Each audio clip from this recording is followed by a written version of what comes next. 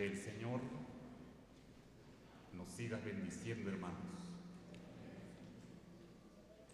¿Se escucha bien atrás? Muy bien. A veces al estar un poco cerca del micrófono confunde la voz. Voy a tratar de tomar las medidas para que todos escuchen la palabra del Señor. Pues cuán interesante son estos estudios. Supongo que la mayoría de los hermanos ya tienen alguna idea o la información de lo que son estas doctrinas. Y que es muy interesante de que también se enseñen en las asambleas locales. Debido a que a través de los años han habido muchas confusiones. Yo estoy cierto, así personalmente, que en algunos lugares no creen en la Trinidad. Y dicen que esta doctrina es una doctrina adversa. Y a eso se debe la importancia de estos estudios bíblicos. Recuérdese que estamos en estudios bíblicos, no estamos en los cultos regulares que se llevan a cabo en la asamblea local. Por lo tanto, a veces nos extendemos, pues es importante también extendernos porque muchas veces nos es interesante hablar en detalle la palabra del Señor. Se ve en la palabra del Señor que el apóstol Pablo era un gran orador. Dice que él alargó el discurso hasta la medianoche, con el fin de que se pudiera entender y dejar así explícito la palabra del Señor. Entonces, esto estoy diciendo como una nota de introducción y que le demos mucha importancia a esta doctrina, porque son doctrinas que encontramos en la palabra del Señor, las cuales las tenemos que estudiar y como dije, las tenemos que enseñar. No cabe duda que ustedes se dan cuenta de que hay muchos conceptos con respecto a, estas doctrinas, en particular lo que me toca en este espacio, acerca de la obra del Espíritu Santo. Eh, algo así, hermanos, como en una introducción también, hace algunos años iba por un camino, pasando cerca de una casa, una señora estaba irrumpiendo en llanto, o estaba llorando a gritos. Yo me atreví de preguntar allí con una vecina cerca, ¿quién había fallecido? Y ella me dijo, no, nadie ha fallecido. Lo que pasa es que a esta hermana ya lo tomó el Espíritu Santo y por eso está llorando. ¿Será cierto? ¿O hay algunos de nosotros que todavía creemos eso? ¿Será cierto que en el tiempo actual La obra del Espíritu Santo como producto de tener el Espíritu Santo es hablar en lenguas. ¿Será cierto? Un hermano dice que no, pero tenemos que saberlo. Sí, tenemos que saberlo, hermanos. Ah, pero dirá usted, pero allí dice en el capítulo 2 del libro de los Hechos, es cierto. Pero tuvo su cumplimiento de su función. Y recuérdese que allí se hablaron idiomas, no jerigonzas, idiomas. Entonces, de tal manera que, hablando de la obra del Espíritu Santo, es bastante amplio. Yo creo que con estos estudios nosotros solamente nos formamos algunas ideas para seguir también estudiando la palabra del Señor, que probablemente no solamente estas doctrinas, sino otras doctrinas más que contiene la palabra del Señor. Por ejemplo, la doctrina de la Trinidad de Dios pues es bastante amplio, muy amplio. Ya lo oíamos en la mañana y parte hoy en la tarde, los hermanos haciendo referencia de porciones en el Antiguo Testamento. Lo mismo sucede con el Espíritu Santo.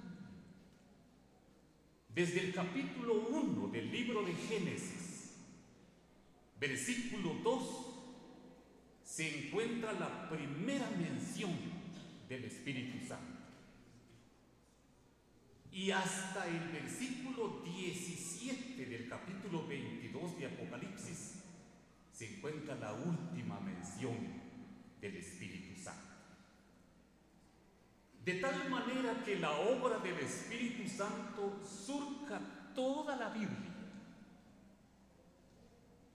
Sí, surca toda la Biblia.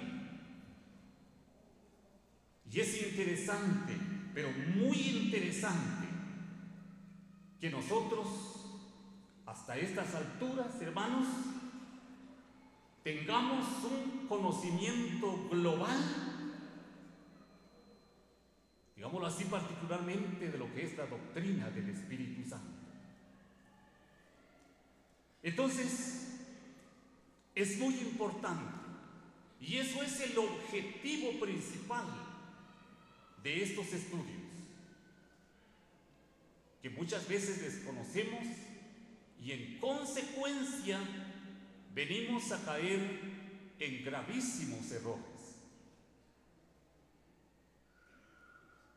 Quiero invitarles, hermanos, a estar conmigo, por favor, durante este espacio que me corresponde, a ver lo que es la regeneración por el Espíritu Santo. Es una obra que en el tiempo actual se está llevando a cabo por el Espíritu Santo. La regeneración. Antes de seguir disertando este discurso, quisiera definir con ustedes, hermanos, lo que es la regeneración y como también hay muchas referencias bíblicas adicionales de dos versículos que vamos a ver en esta tarde y otras referencias en la palabra del Señor. La definición de la regeneración es esto. Es un cambio radical que el Espíritu Santo realiza en el hombre cuando habiendo oído y creído la palabra de Dios, recibe a Jesucristo como Salvador. La persona pasa del dominio del pecado al dominio del Espíritu e indica el crecimiento y el progreso espiritual cuya meta es la perfección y llegar a ser semejante a Cristo. Mateo capítulo 13, versículo 23. El término regeneración aparece solo dos veces en el Nuevo Testamento. La primera mención está en Mateo, o sea, Tito, capítulo 3, versículo 5, y Mateo capítulo 19, versículo 28, donde nuestro Señor lo emplea en sentido escatológico, refiriéndose a la restauración de todas las cosas. Esto es algo de lo que es la definición de la regeneración como obra del Espíritu Santo. Y este se lleve a cabo en el momento, sí, en ese preciso momento, cuando la persona por fe recibe a nuestro Señor Jesucristo como su único y suficiente Salvador de su alma. Se efectúa en él o en ella esa regeneración o ese cambio de vida, ese cambio radical que solamente lo produce el Espíritu Santo.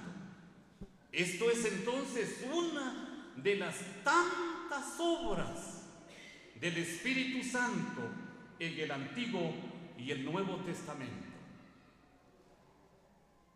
Estaba mencionando aquí Mateo capítulo 13, versículo 23, lo vamos a buscar aquí en nuestras Biblias en el Nuevo Testamento. El libro de Mateo capítulo 13, versículo 23, dice así, mas el que fue sembrado en buena tierra, este es el que oye y entiende la palabra y da fruto y produce a ciento, a sesenta y a treinta por uno. Que el Señor bendiga su santa palabra. Este es el resultado de la regeneración en una persona cuando de todo corazón recibe al Señor Jesucristo como su Salvador personal. Su meta principal es llegar a ser semejante al Señor Jesucristo. ¿Cuántas veces muchos de nosotros hemos dicho, ¿quién puede llegar a ser como el Señor? Pero la Biblia así lo dice. La Biblia dice que nosotros, nuestra meta es llegar a ser igual al Señor Jesucristo. En Efesios, por ejemplo, el capítulo 4, versículo 16 dice, hasta que todos lleguemos a la unidad, a un varón perfecto, a la medida y a la estatura de Cristo. ¿Se da cuenta? Esa es una meta de aquel verdadero creyente, aquel verdadero creyente que ha recibido al Señor Jesucristo como su Salvador personal. Es progresar, avanzar, trascender en su vida espiritual, dejar de ser niño llegar a una madurez espiritual. Y esto se llega, según la palabra del Señor, a través del estudio de la palabra del Señor. El creyente llega a ser maduro en su vida. Entonces, aquí dice, mas el que fue sembrado en buena tierra, este es el que oye y entiende la palabra y da fruto y produce a ciento, a sesenta y a treinta por uno. Nuestro Dios lo que espera en nosotros es el fruto de nuestra vida espiritual. Cuando nosotros demostramos ese fruto, es muestra de que ha habido un cambio radical en nuestros corazones. Encontramos aquí la mención también en la carta del apóstol Pablo a Tito, lo vamos a ver. Hay muchas referencias que el espacio de tiempo no nos permite hablar en detalle o, como dije, pues esto es profundo y necesitaríamos mucho tiempo para poder avanzar en la palabra del Señor. La carta del apóstol Pablo a Tito, leamos el versículo 5.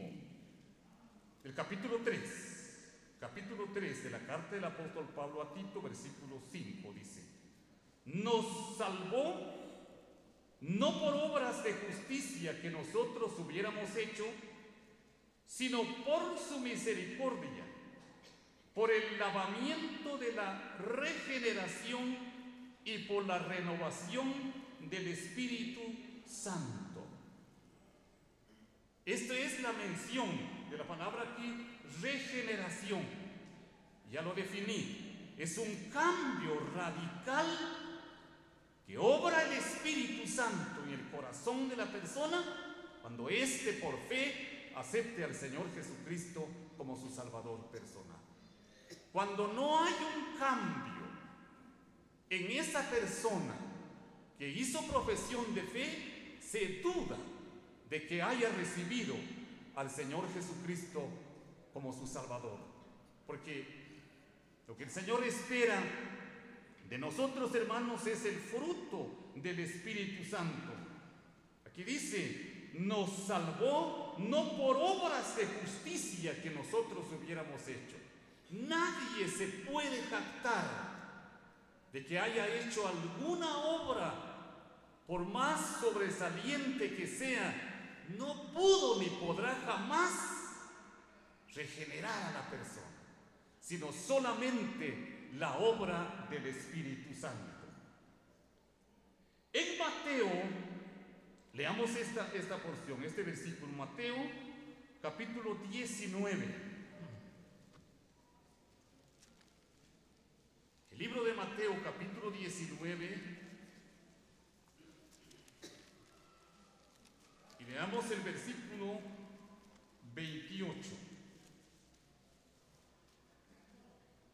Dice así, y Jesús les dijo, de cierto os digo que en la regeneración, cuando el Hijo del Hombre se siente en el trono de su gloria, vosotros que me habéis seguido, también os sentaréis sobre doce tronos para juzgar a las doce tribus de Israel. Aquí aparece otra vez esta palabra regeneración. Y aquí el Señor lo emplea en el sentido escatológico. ¿Qué quiere decir esa palabra escatológico? Lo voy a definir, hermanos.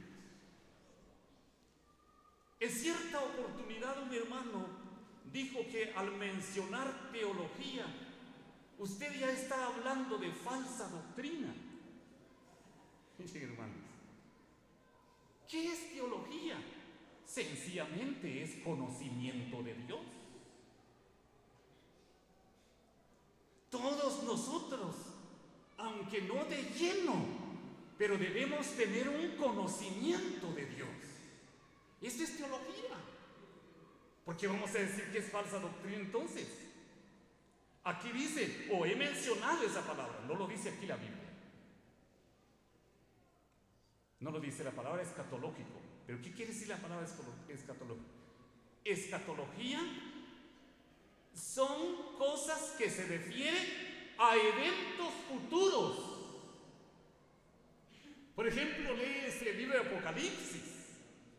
Desde el capítulo 3 hasta el final, puros eventos futuros. Son pasajes escatológicos. Entonces, cuando el Señor Jesucristo habló estas cosas en, en, su tiempo, estas cosas no se habían cumplido. Y aún tienen cumplimiento. Por eso dice,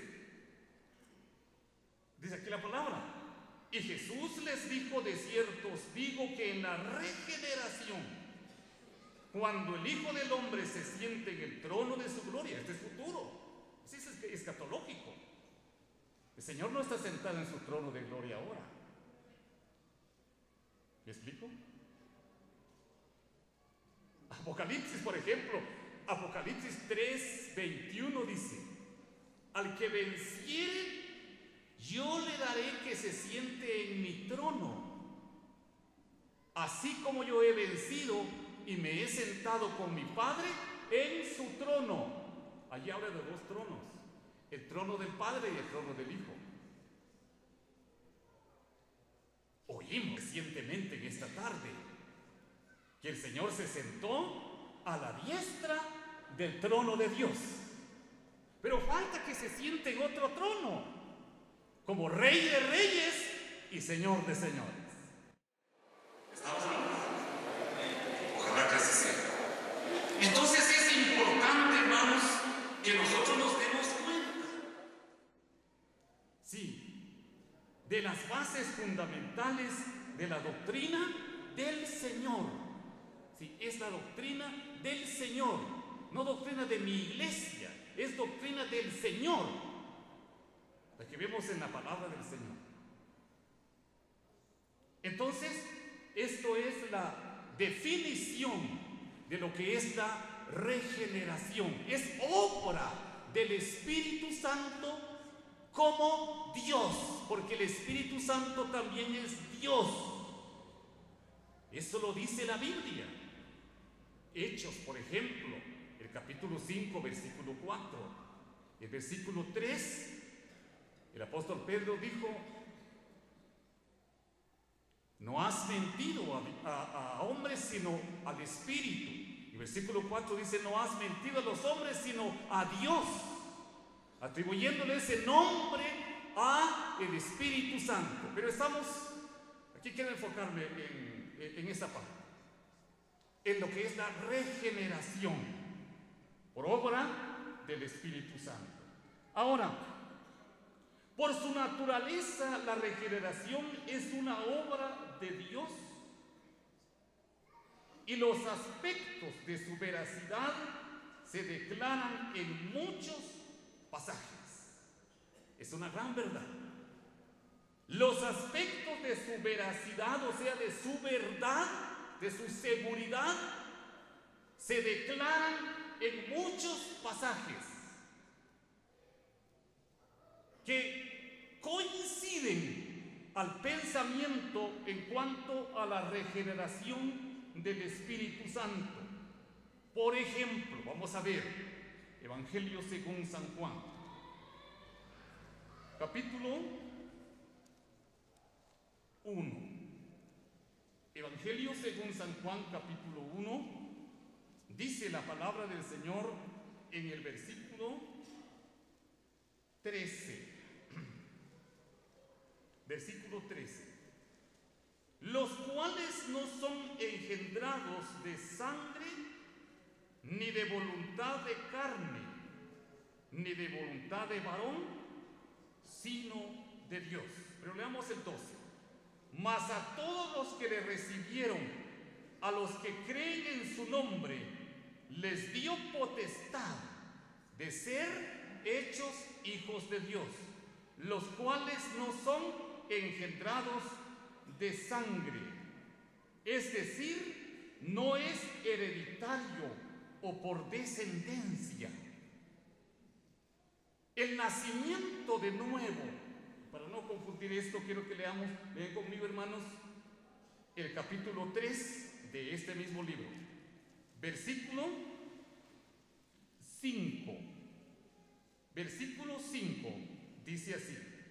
Respondió Jesús, de cierto, de cierto te digo, que el que no naciere de agua y del Espíritu no puede entrar en el reino de Dios. El nacimiento de nuevo lo produce el Espíritu Santo.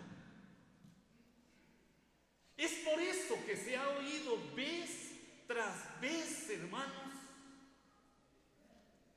que cuando pasamos en el púlpito a predicar el Evangelio, no tenemos que forzar el intelecto de la persona. Debemos recordar que eso le corresponde al Espíritu Santo exclusivamente. Cuando una persona se levante de su lugar y dice yo acepto a Cristo como mi Salvador personal, eso no ha sido por la elocuencia del predicador, no, sino ha sido por obra del Espíritu Santo. Aquí lo estamos viendo. El que no naciere de agua y del Espíritu no puede entrar reino de Dios. Versículo 7, por favor.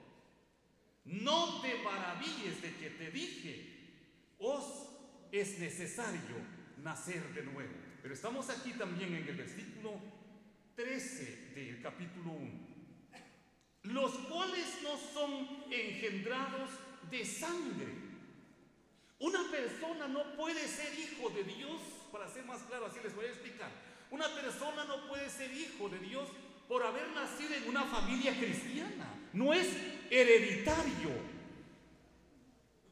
No se puede heredar. No se vaya a equivocar, joven, que porque sus padres son cristianos, usted también se va con el Señor. No, hay que creer de corazón. Tampoco hay que forzar a alguien que, que cree en el Señor, no, porque es obra del Espíritu Santo. Sí, es obra del Espíritu. Aquí habla de un nacimiento de, de nuevo. Y se compara también al nacimiento humano.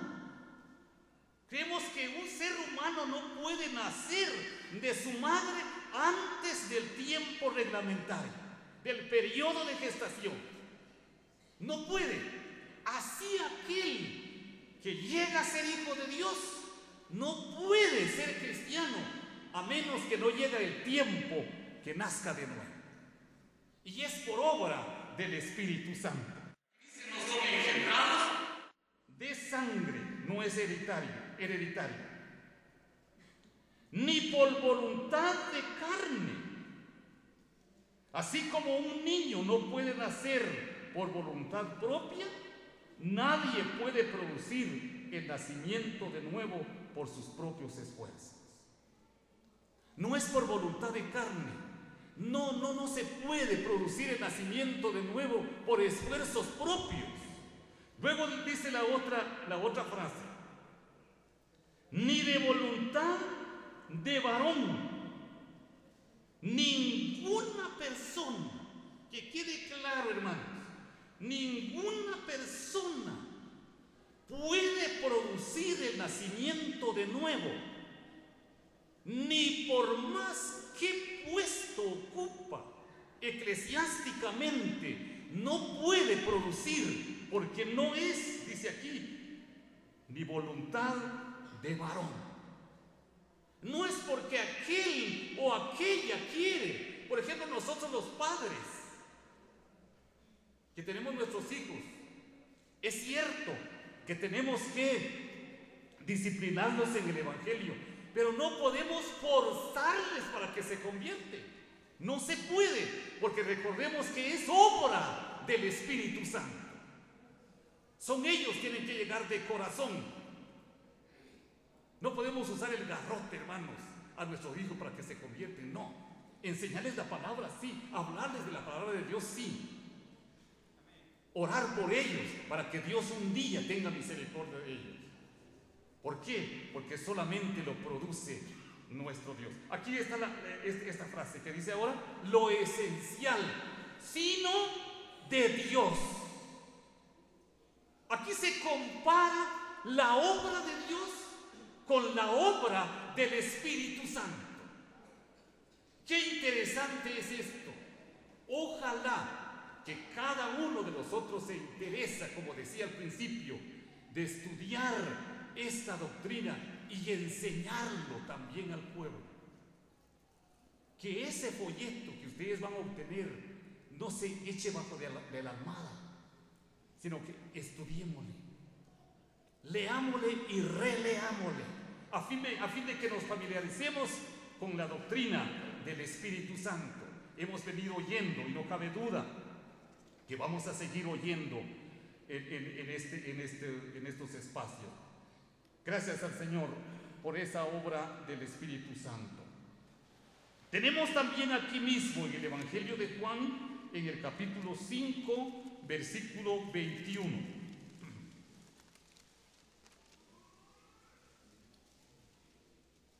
Y en este mismo libro, capítulo 5, versículo 21, dice así. Porque como el Padre levanta a los muertos y les da vida, así también el Hijo a los que quiere da vida. Aquí se compara el nacimiento de nuevo o la obra del Espíritu Santo, se compara a una resurrección espiritual. El versículo dice, porque como el Padre levanta a los muertos y los da vida, así también el Hijo a los que quiere. Aquí está la voluntad del Señor. A los que quiere da vida. Nuestro estado espiritual o el estado espiritual de la persona que no ha creído en el Señor Jesucristo está registrado en el versículo 1 del capítulo 2 de Efesios que dice, y Él os dio vida a vosotros cuando estabais muertos en vuestros delitos y pecados. Este, este versículo podemos comparar o coincide con ese versículo 1 del capítulo 2 de Efesios. Estábamos muertos espiritualmente y cuando creímos el Señor nos dio vida espiritual para llegar a conocer al Señor. Se compara también con el libro de Romanos, el capítulo 6. Veamos ese versículo, Romanos capítulo 6. Dice la palabra del Señor, para que estemos tomando nota de la exposición en este momento. Romanos capítulo 6, versículo 13, no 3, sino 13, dice, ni tampoco presentéis vuestros miembros al pecado como instrumentos de iniquidad, sino presentaos vosotros mismos a Dios como vivos de entre los muertos, y vuestros miembros a Dios como instrumentos de justicia. Aquí dice, como vivos de entre los muertos. Y esa vida espiritual, hermanos, solamente nos la ha dado el Señor. En ese momento, cuando nosotros recibimos al Señor Jesucristo como nuestro Salvador personal, se produce ese cambio, pues, y ojalá que así sea, que haya ese cambio radical. Y como dijera, se va formando nuestro carácter de nosotros semejante al del Señor Jesucristo. Eso es el objetivo. Luego tenemos lo que dice Segunda Corintios, capítulo 5, versículo 17, que está hablando de la misma cosa. Ustedes ya lo saben de memoria, hermano. ¿Qué dice allí?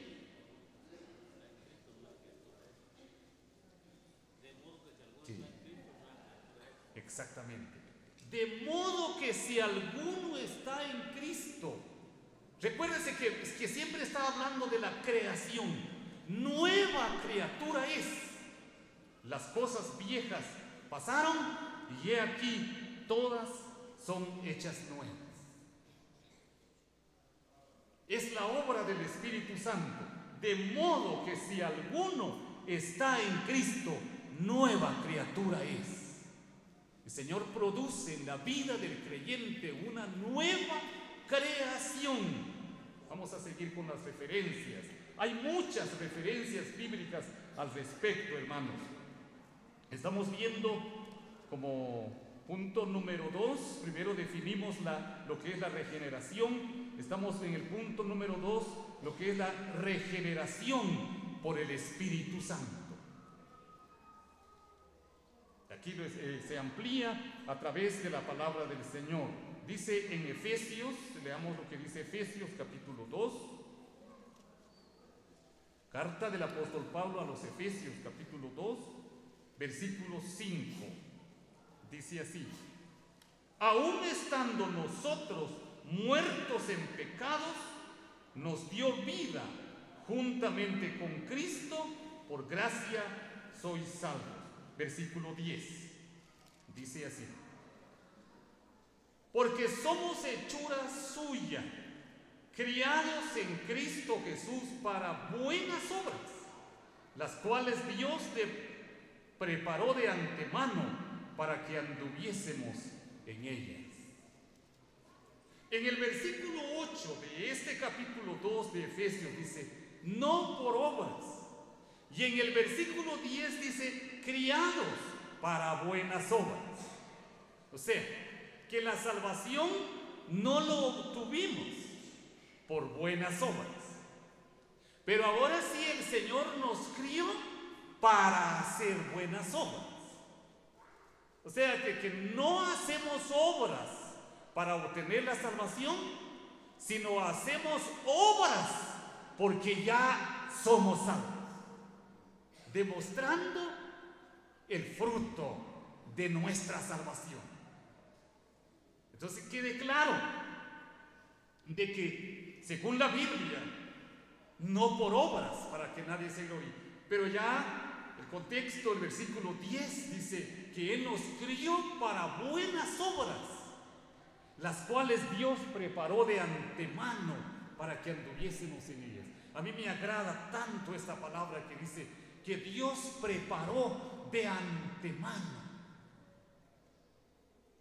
Me recuerdo en estos precisos momentos cuando los hermanos de José llegaron allá donde él estaba. Ya José en Egipto ya era un gran personaje. Y ellos llegaron doliéndose, lamentando, recordando de lo que habían hecho antes. Y José les dice, no os duele haberos vendido para acá porque para preservación de vida me vendió Dios acá. Quiere decir que nuestro Dios permitió que los hermanos de José le vendieran porque Dios sabía el futuro. Y dice aquí que Él preparó las obras de antemano para que ahora, en el tiempo actual, anduviésemos en ellas. Hay muchas cosas que Dios preparó. Fíjense que lo que les estaba haciendo mención de los israelitas. Cuando ellos llegaron a José, había transcurrido un tiempo como de unos 30 o 25 años aproximadamente. Ellos todavía se recordaban de esas cosas, pero José les hace mención que Dios era el que había obrado en ellos porque estaba preparando obras para que nosotros anduviésemos en ellas. Escuchamos del testimonio de nuestro hermano, de lo que sucedió la noche de ayer. Dios prepara las cosas. ¿Quién sabía que hermano Oscar estuviera predicando eh, a las 2 de la mañana? Pero Dios preparó las cosas. Dios es el que prepara las cosas para que anduviésemos en ellas. De tal manera, hermanos, que la obra del Espíritu Santo en nosotros es bastante amplio. Dice también aquí en Efesios capítulo 4, versículo 24. Dice, allí lo tenemos allí cerca, hermanos. Y vestidos del nuevo hombre, criado según Dios en la justicia y santidad de la verdad. Tenemos a continuación y vestidos del nuevo hombre. Es esa nueva criatura, es esa nueva persona. Aquel viejo hombre quedó, aunque muchas veces aparece, ¿verdad?, en nosotros. Porque todavía tenemos la naturaleza caída. Sí, tenemos la naturaleza caída todavía. ¿Y saben cuándo lo vamos a dejar? Cuando nos vamos a ir con el Señor. Entonces sí, eh, vamos a dejar esa naturaleza caída. Pero en el tiempo actual tenemos todavía esa naturaleza caída que la Biblia lo llama carne. Y cuando habla de carne, no se está refiriendo a este cuerpo físico, sino se refiere a esa naturaleza adámica que todos lo tenemos y que la Biblia exhorta de amortiguar esa naturaleza. Y eso también es obra del Espíritu Santo, así lo dice en el libro de Gálatas. Así lo dice el libro de Gálatas. Si vivimos por el Espíritu, andemos también por el Espíritu. Eso quiere decir, si hemos obtenido nuestra salvación por el Espíritu, que nuestra conducta responde también, pues. Y todo esto, como dice la Biblia, proviene de Dios. Qué interesante, hermanos. Em, las tres personas de la Trinidad están involucradas en la regeneración del creyente. El Padre está relacionado con la regeneración en Santiago, vamos a leerlo por favor, en Santiago capítulo 1. Santiago, el libro de Santiago, la epístola del apóstol Santiago, en el capítulo 1. Las tres personas de la Trinidad están relacionados en la obra de la regeneración del creyente. En Santiago 1, 17 y 18 dice de la siguiente manera. Toda buena dádiva y todo don perfecto desciende de lo alto, del Padre de las luces, en el cual no hay mudanza ni sombra de variación. Él, es decir, el Padre, de su voluntad nos hizo nacer por la palabra de verdad para que seamos primicias de sus criaturas. ¿Se dan cuenta? Que el Padre también está involucrado en la obra de regeneración. Aquí lo vemos en la palabra del Señor. Las tres personas están involucradas, las tres personas de la Trinidad decía en la mañana por allí en la hora del bautismo, que la palabra Trinidad no se encuentra en la Biblia. ¿Verdad? ¿O ya lo encontró usted, hermano, alguna vez?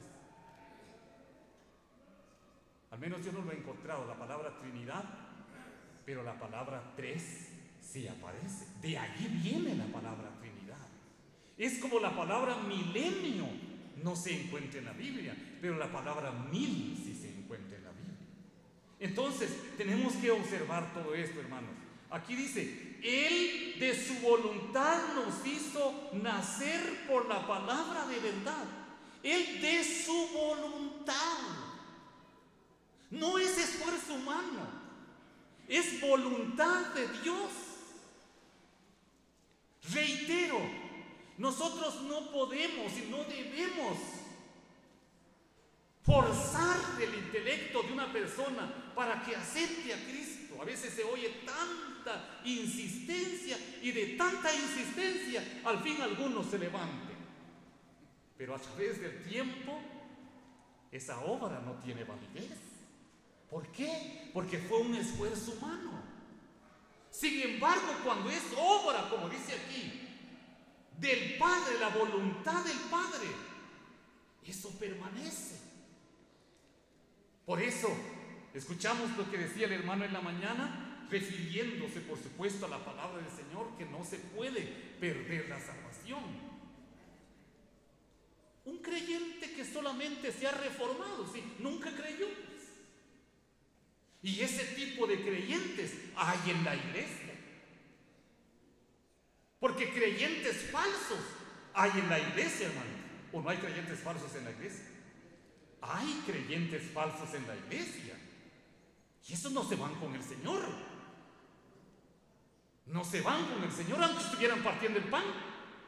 Pero son creyentes falsos. Sin embargo, un creyente genuino que verdaderamente ha nacido de nuevo por obra del Espíritu Santo, se va con el Señor. Y su gusto de este no es estar en las cosas del mundo sino su gusto es estar en las cosas de Dios.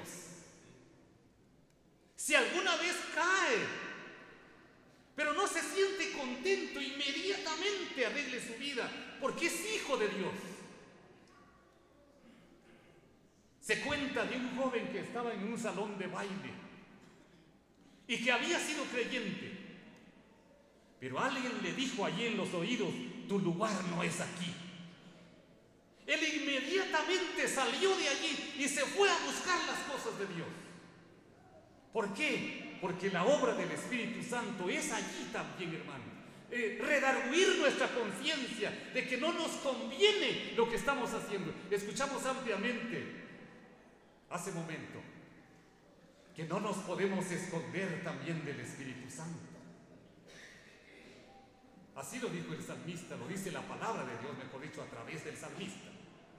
¿A dónde me huiré de tu espíritu? No hay ningún lugar. Todavía es usted, hermano, de aquellos creyentes que dicen, bueno, aquí no me están mirando los ancianos, aquí no me mire el Señor. ¿Es usted todavía de eso? Pero hoy que quede claro a la luz de la palabra del Señor que hay un ojo divino que le está viendo en donde quiera y que de su presencia no nos podemos esconder. Si usted está continuando en el pecado, desiste. Porque si es un verdadero, un verdadero creyente, el Señor le va a castigar. Y si es un creyente falso, el Señor no le va a castigar porque usted se va a ir al infierno. Esa es una gran verdad. Entonces, las tres personas de la Trinidad están involucradas en la obra de regeneración. Tenemos, ya lo hemos visto, Allí en San Juan vimos, ¿verdad? El, Señor Jesucristo hablando del nuevo nacimiento. Él también como Dios Hijo está involucrado en lo que es la obra de la regeneración. Ya hemos visto también lo que dice el capítulo 3, versículo 5 de Tito. Allí vimos que el Espíritu Santo también está involucrado en la obra de regeneración, de tal manera que las tres personas se involucran en la obra de la regeneración. Entonces esto es parte, hermanos, de lo que es eh, la obra del Espíritu Santo en cuanto a la regeneración. Este punto es bastante amplio en cuanto a la regeneración. Eh, iba a tocar algo también aquí de lo que es la morada y el sellamiento. Me restan unos minutos. Alguien dirá, pero tanto insistir por esos versículos si yo ya lo conozco. Tengamos cuidado, hermanos, de ser sabe de todo. Este servidor he sacado la conclusión que solamente he llegado a tocar una mínima parte de lo que es, de lo que es eh, o lo que son las cosas del Señor. Una mínima parte. Si usted dice, yo ya lo sé todo, allí va la caída. Allí ya va a caer. Porque se está pasando como sabe de todo. La morada y el sellamiento no ignoramos lo que dice, ¿verdad, hermanos? Efesios 1:13. Lo vamos a leer, porque la palabra del Señor es nuestra máxima autoridad, hermanos. Dice en la carta del apóstol Pablo a los Efesios, capítulo 1,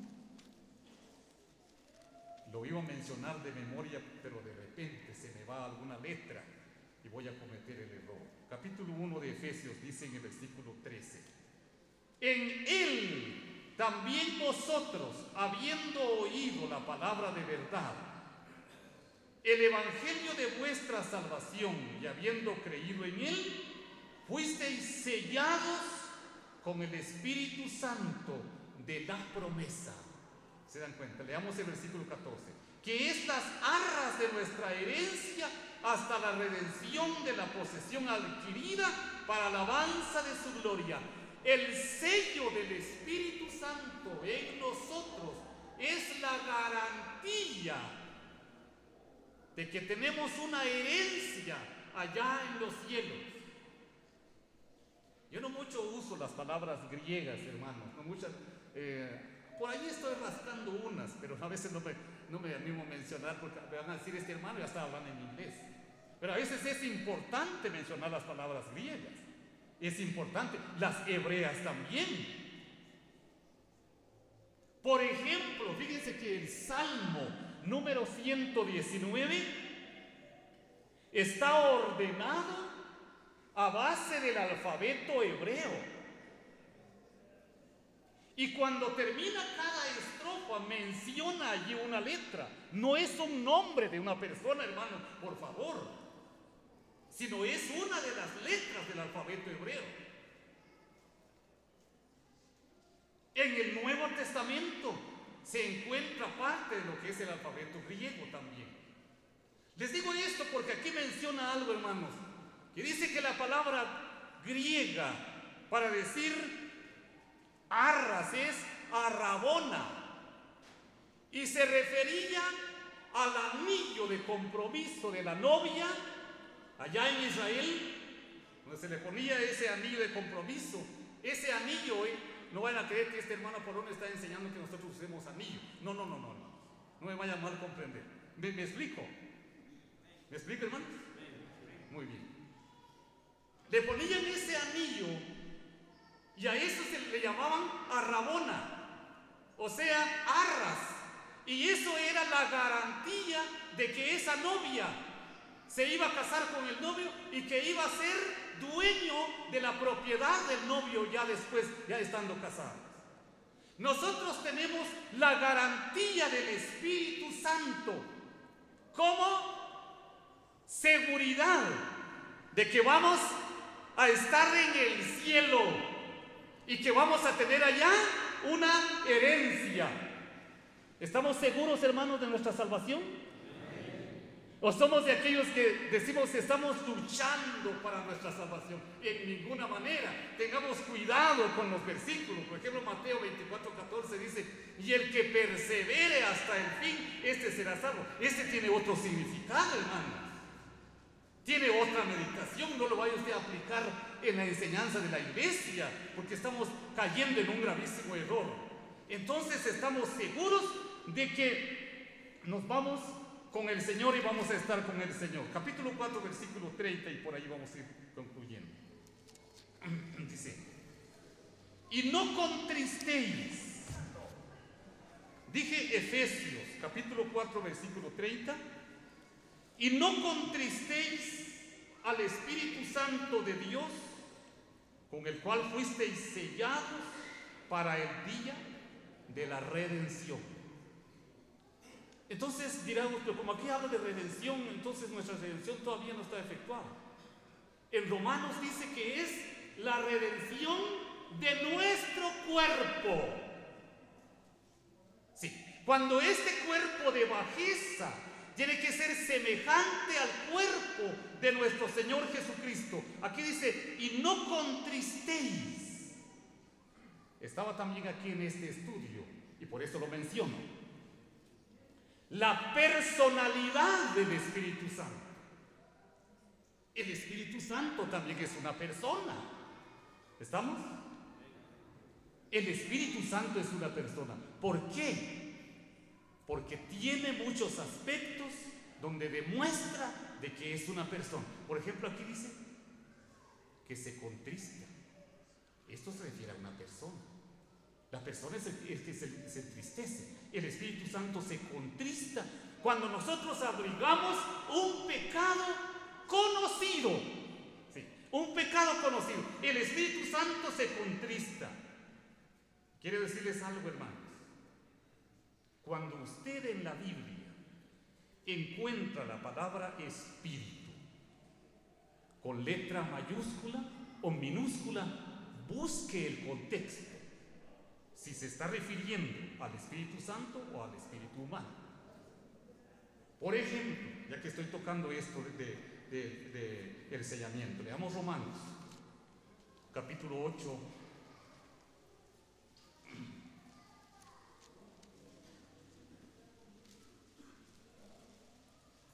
En el libro de Romanos,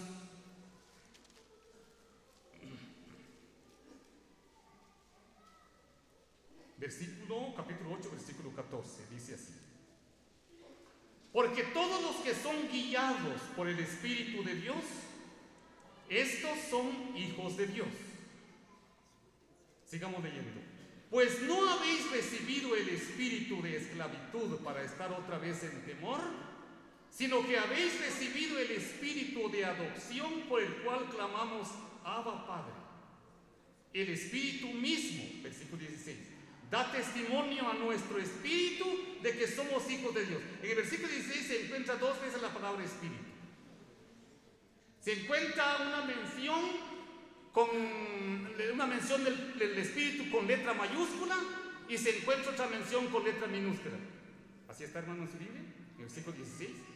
Dice, el, el versículo 16, el Espíritu mismo da testimonio a nuestro espíritu de que somos hijos de Dios. De tal manera que el Espíritu Santo nos testifica a nosotros de que somos hijos de Dios.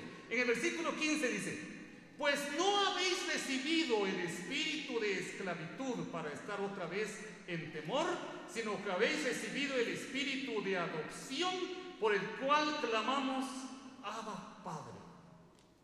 Se dice que esta palabra, Abba Padre, es una palabra latina.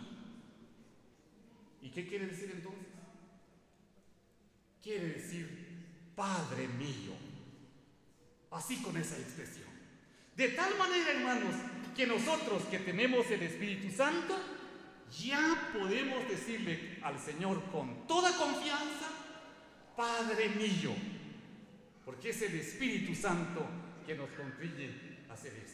Gracias al Señor, gracias a ustedes por su atención, que el Señor bendiga su santa palabra.